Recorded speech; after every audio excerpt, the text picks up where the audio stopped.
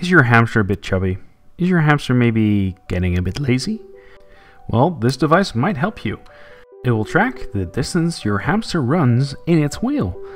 It uses neodymium magnets and a Hall effect sensor to track the amount of rotations. From the rotations, it can calculate the distance traveled by the hamster in its wheel. It uses an Adafruit feather with Bluetooth, only Bluetooth is not enabled. Yet.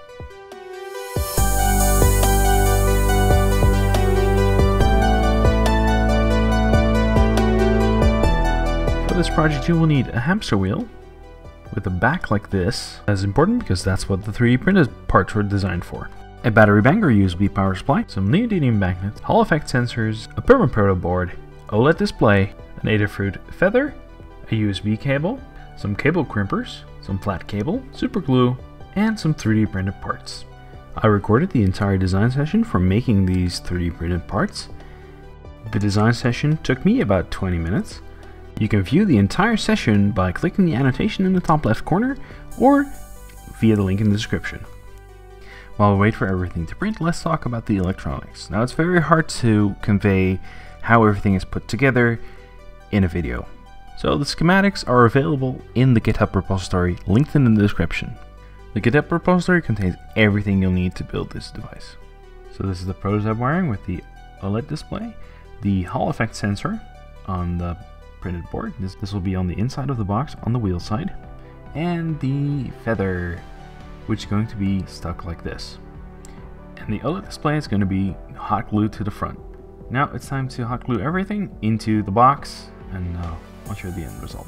I ended up cutting the Permaproto in half. Now everything except the Arduino is glued in place. And you can just put the lid on and slide it into a locked position. The USB port is accessible through the hole in the top. The base will fit snugly on the top of the hamster wheel support. The magnets need to be about 1 centimeter above the base. Please, before you glue anything in place, measure and measure again.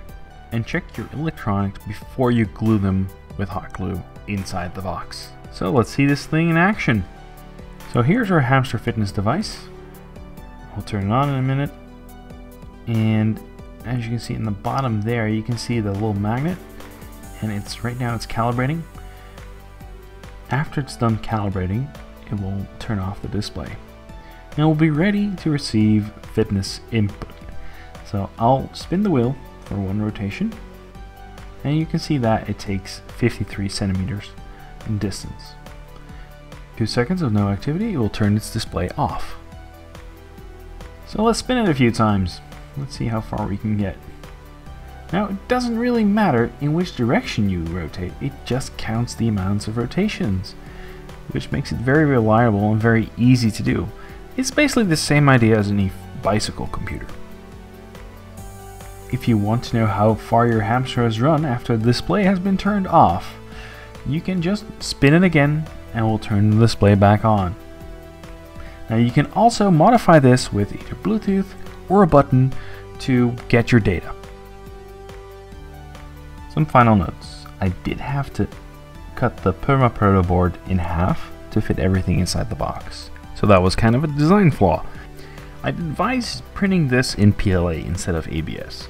ABS has some fumes that come out even after you've printed it and that might be harmful to your little furry friends, so please print it in something safe for your hamster.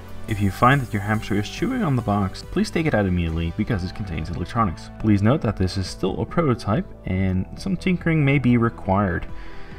If you find some bugs or want to help out, please commit a pull request and I'll have a look.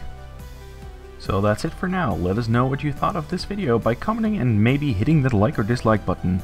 Please subscribe if you want more of these videos. We also have a podcast which you can find in the video description. Thanks for watching and see you next time.